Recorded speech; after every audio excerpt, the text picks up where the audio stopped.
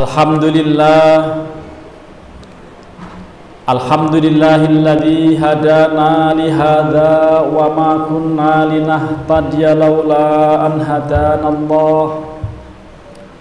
Ashhadu an la ilaha illallah wa ashhadu anna Muhammadar Rasulullah. Allahumma salli wa sallim wa barik ala sayyidina Muhammad ibni Abdullah ala alihi wa ashabihi wa mawalah wa man tabi'ahum bi ihsanin ila yaumis sa'ah. Amma ba'du faya ibadallah usikum wa iyaya bi taqwallahi wa ta'atih. Fa inna taqwa ra'su kulli sa'adah kama anna tiba'al hawa madaru kulli Saudara-saudara kaum muslimin jamaah sholat Jumat Masjid Raya Villa Inti Persada Pamulang Timur Tangerang Selatan Yarhamukumullah Pertama marilah kita panjatkan puji syukur kehadirat Allah Subhanahu wa taala atas berbagai limpahan nikmat, rahmat, karunia, taufik dan inayahnya. Siang ini kembali kita bisa melaksanakan ibadah sholat Jumat Doa dan harapan kita semoga semua amal aktivitas ibadah kita diterima oleh Allah Subhanahu wa taala. Rahmat dan salam kita mohon kepada Allah semoga Allah curahkan kepada junjungan kita Nabi besar Muhammad sallallahu alaihi wasallam beserta seluruh keluarga dan sahabat-sahabatnya. Kaum muslimin, mari kita tingkatkan iman takwa kita kepada Allah.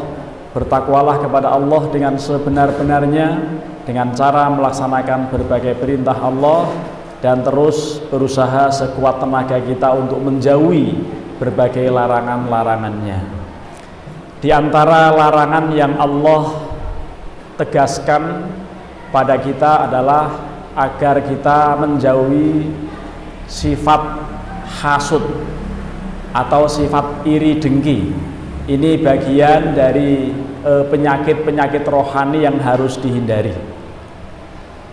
Karena saking pentingnya untuk menghindari penyakit yang satu ini, sampai kemudian Rasulullah dianjurkan untuk membaca wamin syarri hasidin ida hasada dan aku berlindung kepada Allah dari keburukan orang yang hasud ketika dia mempraktekkan e, iri dengkinya itu.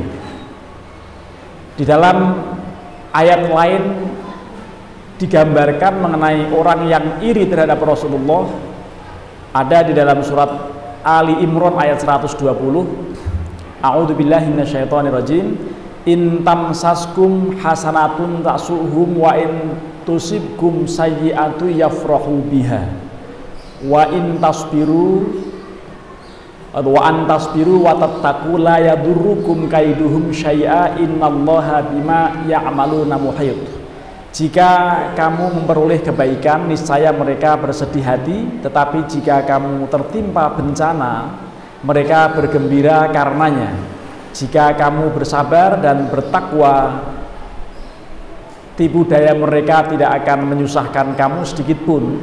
Sungguh Allah maha meliputi segala apa yang mereka kerjakan teramat buruk memang sifat iri dengki sehingga Rasulullah menggambarkan bahwa iri dengki ini akan cepat menghapuskan kebaikan-kebaikan yang kita kerjakan. Beliau bersabda, "Iyyakum wal hasada fa innal hasada yakulul hasanati kama takulun narul hatoba."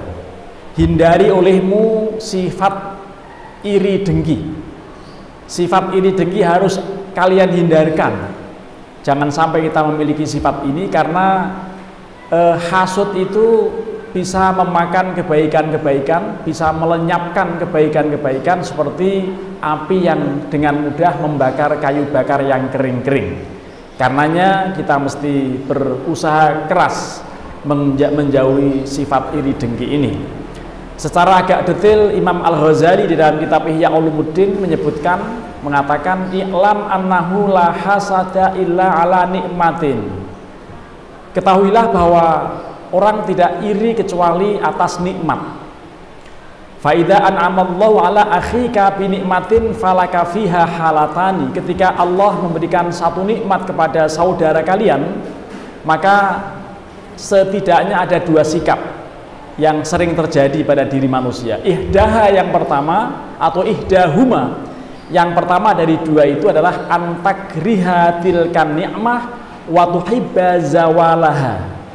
Uh, kalian benci dengan nikmat itu, nikmat yang ada pada diri orang lain dan bahkan ingin supaya nikmat itu segera lenyap. Wahadil halah tusamma hasadan. Inilah yang disebut dengan iri. Keadaan seperti ini buruk. Fa'inal hasada hadduhu karohatun ni'mah wa zawaliha anil mun'im alaihi. Batasan nikmat itu ketika kita benci kepada orang lain yang sedang nikmat, yang sedang memperoleh anugerah, lalu kita atau lalu orang itu menginginkan supaya nikmat itu lenyap darinya itu eh, yang namanya hasud seperti itu sedangkan keadaan yang kedua al halatu tsaniyatu alla tuhibba zawalaha wala tukriha wujudaha.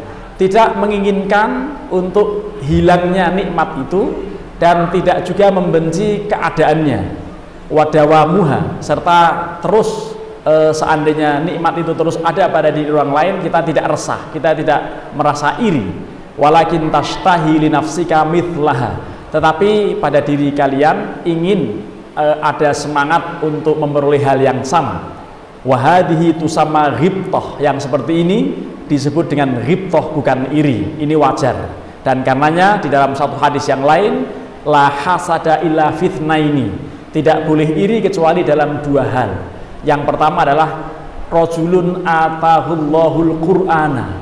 Seseorang yang diberikan Al-Qur'an, kemudian dia membacanya siang dan malam serta mengamalkan ajaran Al-Qur'an itu dengan baik, kita iri boleh. Dan memang harus iri terhadap orang yang baik agamanya untuk menjalankan ajaran-ajaran Al-Qur'an. Yang kedua, rojulun atahullahu malan fayunfiquhu ana al-lail wa ana an-nahar. Orang yang diberikan nikmat berupa harta melimpah, kemudian dia berderma, dia sangat dermawan dengan harta yang dimilikinya, kita boleh iri karena orang itu bisa beramal, bisa bersedekah dengan harta yang dimilikinya. Itu yang boleh dalam agama diizinkan untuk boleh iri terhadap orang lain dalam rangka untuk supaya bisa meningkatkan kualitas pribadi kita pada Allah Subhanahu wa taala dan mudah-mudahan sifat yang seperti ini bisa kita hindari bersama. Barakallahu li wa lakum fil Qur'anil azim wa nafa'ani wa iyyakum bima fihi minal ayati wa dzikril hakim wa taqabbalallahu minni wa minkum tilawatahu innahu huwas samiul alim fastaghfirullahal azim li wa lakum wa lisairil muslimina wal muslimat wal mu'minina wal mu'minat fastaghfiruhu innahu huwal ghafurur rahim